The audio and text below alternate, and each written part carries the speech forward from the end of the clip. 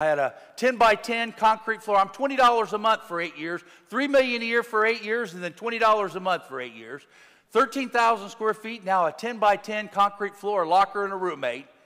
And I remember getting down on my knees, my third month in prison, and I said, God, how can you be a PhD scientist and not believe in God after all the evidence that I've just seen? And I gave my life to Jesus. I, I was in tears and I told, I was telling God, I said, God, forgive me.